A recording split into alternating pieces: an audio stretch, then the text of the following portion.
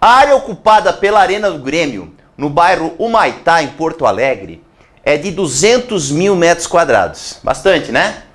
E o gramado do campo de futebol, propriamente dito, tem dimensões de 105 metros por 68 metros. Nós sabemos que gramado de campo de futebol né, é um retângulo, tem a forma de um retângulo, não é verdade? A área do terreno que excede, ou seja, que ultrapassa a do campo é aproximadamente de. Ele quer o quê? Aquela área que está fora do campo de futebol. A área entre a arena e o campo. Aquela que excede o campo de futebol. Né? Então, basicamente, o que, que a gente vai fazer? A área da arena, como a questão fala, é 200 mil metros quadrados. A área do gramado agora, tá? O gramado é de 105 por 68, então 105 metros por 68. Como tem a, fórmula de um, a forma de um retângulo, qual é a fórmula da área de um retângulo? A área é igual a base vezes a altura, não é verdade? Não é isso que a gente aprendeu? A área de um retângulo é base vezes a altura. Então nós vamos fazer 105 vezes 68. Isso dá 7.140 metros quadrados. Ele quer a área que excede o campo, né? A área que está fora do campo. Então o que, que a gente faz para dar a resposta da questão? A gente pega os 200 mil metros quadrados, que é a área da arena, menos essa área do campo. Ó. A resposta final, então, é 200 mil menos 7.140. Isso dá 192.860 metros quadrados. Aí você vai dizer, ah, mas não tem essa resposta aqui. É que ele usou essa palavrinha aqui, ó. Aproximadamente.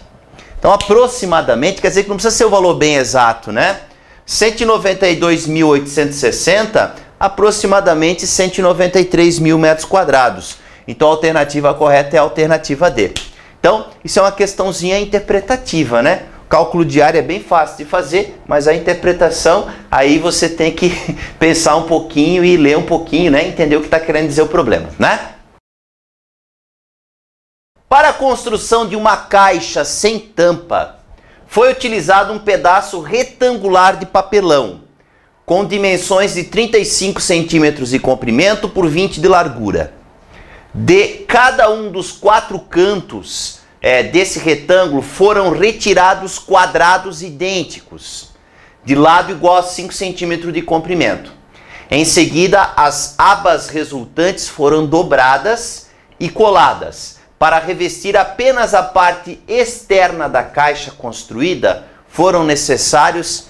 Ele quer saber quantos centímetros quadrados de revestimento, tá? Só não entendi nada. Olha só, tem um retângulo aqui, ó, um pedaço de papelão, tá? De 35 por 20. Aí, ó, de cada um dos quatro cantos foram retirados quadrados idênticos de lado igual a 5 centímetros. Então ele cortou um quadradinho aqui, outro ali, outro aqui e outro ali. Então vai ficar sem essa parte aqui, ó. Ó, o papelão vai ficar assim, ó. Foi retirado esse quadradinho, tá? Em cada um dos quatro cantos. Aí você vai dizer, tá, mas como é que vai fazer a caixa? Aí ele pega esse pedacinho e dobra assim, ó. Dobra aqui, dobra aqui e dobra aqui. Então, o que, que vai acontecer? Essa parte aqui, ó, pontilhada que eu estou fazendo para você, essa parte aqui vai ser o fundo da caixa. Entendeu? Ó, vai ser dobrado aqui, isso aqui vai ser o fundo da caixa. Tá? Então vai dobrar assim, assim, assim e assim. A caixa vai ficar mais ou menos assim, ó. Vai ficar uma caixinha desse tipo assim, ó. Bem bonitinho para você. Tá, ó. Aqui, ó. Depois que dobrar, claro, né? Ó. Com a caixinha assim. Essa parte aqui vai ser o fundo dela. Aqui embaixo, ó. Tá? Então o que, que vai acontecer? Você tem que entender o seguinte. Aqui foram quadradinhos de 5 centímetros, né? Então 5 por 5, ó. Tá vendo? Então o que, que vai acontecer? Essa parte aqui que vai ser o fundo da caixa vai ser um retângulo mas 35 centímetros era dessa ponta até essa. Como eu vou dobrar aqui e eu vou dobrar aqui ao fundo, eu vou tirar 5 e mais 5 aqui, ó. Então esse 35 centímetros aqui no fundo vai ser 25, ó. E esse 20 é a mesma coisa, ó. 20 é dessa ponta até essa, tá? Que era a dimensão original do papelão. Como esse 5 eu vou dobrar assim, esse 5 eu vou dobrar assim, aqui vai ser 10. Certo? Então, o fundo da caixa, que é essa parte que você está vendo aqui embaixo, ó, fundo da caixa vai ser de 25 por 10. Ó, 25 por 10. Certo? Então, o que, que vai acontecer? Vamos calcular a área desse fundo aqui. Eu vou passar revestimento na parte externa da caixa, tá? Então, a área de revestimento, na verdade, é a área disso aqui, ó. Essa figura aqui é formada por quê? Por um retângulo aqui no meio, mais esse, mais esse, mais esse, mais esse retângulo. Basicamente, eu tenho que calcular a área desses retângulos e somar tudo. Isso vai ser a área do revestimento, certo? Basicamente isso. Então, qual vai ser a área do revestimento? Vamos fazer? Essa parte do meio é um retângulo de 25 por 10. A área de um retângulo é base vezes altura, né? Então, a área do revestimento vai ser 25 vezes 10. Mais. Mais. Pois é, esse pedacinho aqui, ó. Vamos pegar outra cor aqui de caneta, tá? Esse pedacinho aqui, ó. Aqui tem 10 centímetros e ali tem 5, tá vendo? Ó, então 5 vezes 10. Então, 5 vezes 10. Mais. Esse outro aqui do outro lado a mesma coisa. É 5 por 10. É o mesmo que aquele, né? 5 por 10. Então, de novo, 5 vezes 10. O que que está faltando? Está faltando esse retângulo aqui, ó. Né? Esse aqui, ó. Bom, aqui é 25, né? Ó, 25, ó, 25 centímetros. Então é 5 vezes 25, né? Então mais 5 vezes 25. E esse outro aqui embaixo também, ó, 25 vezes 5, a mesma coisa. Então mais 5 vezes 25. Então a área do revestimento vai ser o quê? 25 vezes 10 é 250. 250. Mais 50 mais 50. 5 vezes 25 é 125, então mais 125, mais 125, né? Então quanto é que dá isso? 250 mais 100 dá 350. Esse mais esse dá 250. 350 dá 600, né? Então a área do revestimento é de 600 centímetros quadrados, tá? Essa é a resposta dessa questão aqui.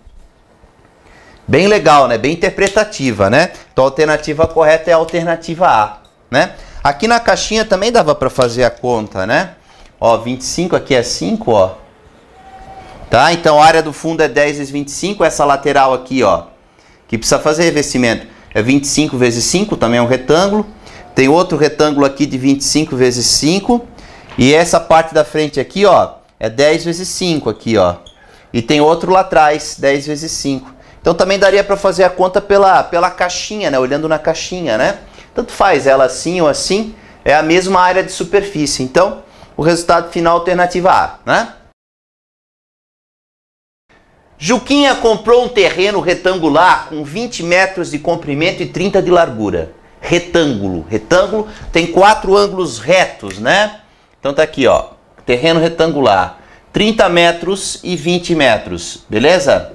Tá aí as medidas do terreno dele, né? Nesse terreno, ele reservou 400 metros quadrados para fazer uma casa, 9 metros quadrados para fazer uma piscina e 3 metros quadrados para fazer um canil. A área disponível para ele fazer uma churrasqueira é de. Então, o que, que é para fazer? Basicamente, Primeiro calcular a área do terreno, 30 vezes 20, né? Base vezes altura, né? Tanto faz 20 vezes 30 ou 30 vezes 20 é a mesma coisa, né, gente?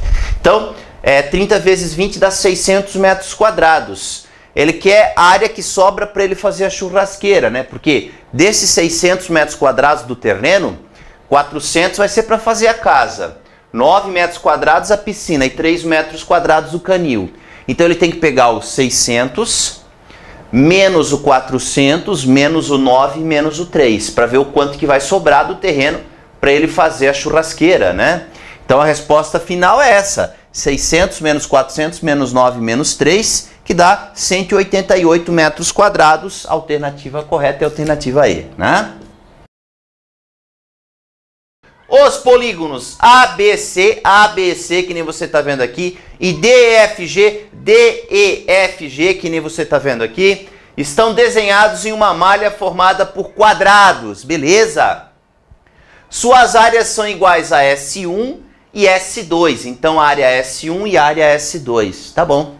É, respectivamente, conforme indica a figura. Tá. Sabendo que os vértices dos dois polígonos estão exatamente sobre pontos de cruzamento das linhas, então essas pontinhas aqui são exatamente em cima dos pontos de cruzamento, né? Beleza. É, é correto afirmar que S2 dividido por S1. Ele quer que você divida a área S2 pela área S1, tá? Bom, qual é a forma que a gente vai utilizar para fazer isso aí? A gente vai dividir isso aqui, ó, em figuras conhecidas. S1 é bem fácil de calcular. Por quê, professor? Porque eu estou vendo aqui que é um triângulo de base 2, 2 unidades de comprimento, né? Ó, pode ver, ó, é um triângulo.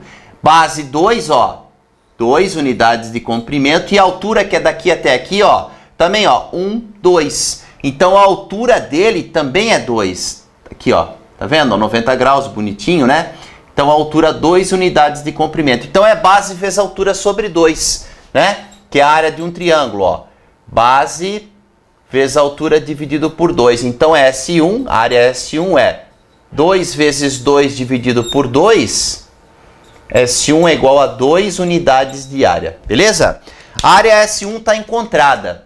O mais difícil é achar aquela área S2, porque eu vou ter que dividir em várias figuras ali, tá? Várias figuras. Isso é interessante de fazer. Olha só, é, uma, é, não precisa ser exatamente como eu vou fazer, tá? Você pode em casa tentar dividir de outra forma, tá? Mas olha só, é, o que, que eu estou enxergando? Eu estou enxergando um triângulo aqui, ó. Aqui, ó. Esse aqui. Tá vendo aqui, ó? Ó, base é um triângulo retângulo, porque aqui é 90 graus, ó. Tá vendo, ó? Base 1, deixa eu ver a altura. 1, 2, 3, 4. Então, vamos lá. S2 igual.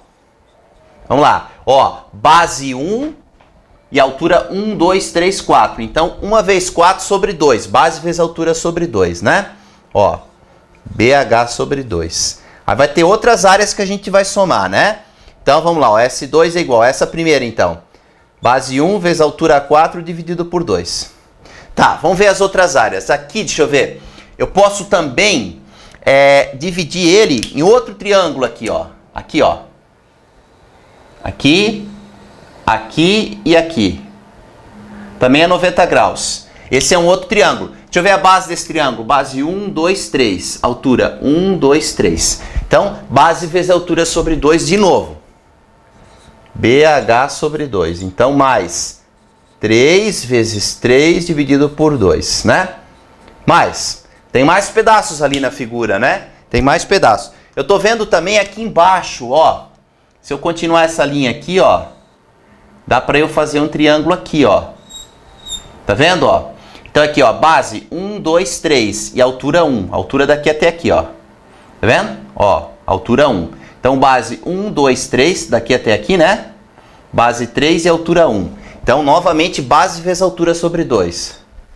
BH sobre 2. Então, mais base 3 e altura 1, ó. Tá vendo, ó? Então, 3 vezes 1 sobre 2. Tem mais um pedacinho ali, né? Esse pedacinho aqui, ó, justamente esse aqui, ó. Esse aqui. Isso aqui é um trapézio retângulo. É um trapézio. A base maior dele é 1, 2, 3. A base menor é 1, 2 e a altura é 1, né? Qual é a fórmula da área de um trapézio? Bzão mais Bzinho dividido por 2 vezes a altura, né? Ó, vou repetir, tá? Ó, você não consegue enxergar, ele é um trapézio, ele é assim, ó. E é um trapézio retângulo. Que nem a gente estudou, a base 3, 3, que é daqui até aqui. A base menor, que é daqui até aqui, é 2. Ó, ó, daqui até aqui é 2, ó. 1, 2 e a altura dele é 1. Né? A gente não estudou isso? Trapézio retângulo? Tá aí, ó. Então, mais Bzão mais Bzinho dividido por 2 vezes a altura que é 1. Então a área S2 é a soma desses quatro valores. S2 igual 2, 3 vezes 3, 9 dividido por 2. Eu vou deixar na forma decimal, tá? 2 mais 4,5. 3 dividido por 2 é 1,5. 3 mais 2 é 5. 5 dividido por 2 é 2,5. Vezes 1 dá 2,5. Certo? Vamos somar isso aqui. 4,5 com 1,5 dá 6. com 2,8. 10,5. 10,5. Então a área S2 é 10,5 unidades de área, né? O que, que ele pede para a gente marcar no gabarito? Ele pede para marcar no gabarito S2 dividido por S1. Então, ó, resposta final da questão. S2 dividido por S1 vai ser o 10,5 dividido pelo 2. Isso dá 5,25. E essa resposta final, alternativa correta é A, né? Veja que você poderia ter feito diferente aqui também, tá? Você poderia ter feito outro tipo de divisão nessa figura. Por exemplo, né? Esse trapézio, eu considerei como sendo um trapézio, né? Você poderia ter feito assim também, quer ver, ó? Dividido em duas figuras. Como duas, professor? Poderia ter dividido aqui, ó. Um retângulo de base 2 e altura 1 e mais um triângulo. Ó, base 1, altura 1, 1 vezes 1 sobre 2. Também poderia ter, fe ter feito assim, né? Teria outras formas de dividir essa figura, né? Que também você iria encontrar a resposta final para ela, tá?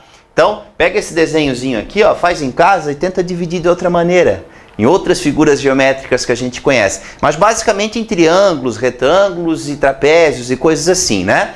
Tá bom, amiguinho? No retângulo ABCD, os lados AB e BC medem respectivamente 16 e 10 centímetros. Então, ele está falando que o AB daqui até aqui tem 16 centímetros. E o uh, BC, que é daqui até aqui, tem 10 centímetros, beleza? Então é 16 por 10 esse retângulo aí. Né? É, e e F são pontos médios dos segmentos dos segmentos que ele falou, né? O AB e o BC. Então, esse aqui é um ponto médio, então ele fica exatamente no meio. E esse aqui também é um ponto médio, fica exatamente no meio aqui. Então é 5 e 5. E aqui seria 8 e 8. Entendeu? Ó, 8, 8, aqui 5, 5. Tranquilo? Aqui 16, que é daqui até aqui, né? e ali 10, como você está vendo. Beleza? área do triângulo CEF. Pois é, interessante essa questão. CEF, esse triângulo aqui, ele que é a área, ó, esse aqui, ó, tá? Bonitinho. Pois é, é, eu teria muita dificuldade em fazer essa área por um processo padrão, base vezes altura sobre 2 ou AB seno do ângulo sobre 2. Agora tem uma estratégia aqui que é, é, até porque eu não tenho, eu teria que calcular todos os lados do triângulo e tal, isso seria bem complicado de fazer. Mas tem uma estratégia aqui bem interessante que a gente pode utilizar, que é a seguinte, ó, é, por fora nós temos um retângulo de 10 por 16, então área do retângulo, a área do retângulo é base vezes altura, então a área do retângulo, área do retângulo vai ser 16 vezes 10. Então a área do retângulo inteiro é 160 centímetros quadrados, certo? Então a área do retângulo é 160. Tá, e daí, professor? Daí é o seguinte, ó. Isso aqui é um triângulo retângulo de base 8 e altura 10, você tá vendo? Então eu consigo facilmente calcular a área desse carinha aqui, ó. Até vou puxar uma setinha aqui, ó. Área igual a base vezes altura sobre 2. Então a área vai ser 8 vezes 10 dividido por 2, que é 40, né? 40 centímetros quadrados. Esse triângulo aqui, ó. Né? Esse aqui, esse aqui também é 90 graus aqui, ó. Então a base 16 e a altura 5. Ó, área igual a base vezes altura sobre 2. Área igual a 16 vezes 5 dividido por 2, que também dá, dá 80 por 2 dá 40 centímetros quadrados. Certo? E esse cara aqui também é um triângulo retângulo, ó. Base 8 e altura 5. Então, área também BH sobre 2. Então, 8 vezes 5 por 2, 8 vezes 5, 40 por 2, 20. 20 centímetros quadrados. Olha que interessante. Se eu pegar a área do retângulo, né? Que é de 160 centímetros quadrados e diminuir essa, essa e essa, vai dar a área desse triângulo aqui do meio. É o retângulo menos esse, menos esse, menos esse. Não é verdade? Então a resposta final para essa minha questão aí, ó, a resposta final vai ser 160 menos 40 menos 40 e menos 20. Né? Então 160 menos 100, não é verdade? Então a resposta final para minha questão é 60 centímetros quadrados, né? E isso encontra-se em que alternativa? Na alternativa C. Então o gabarito final dessa questão encontra-se na alternativa C.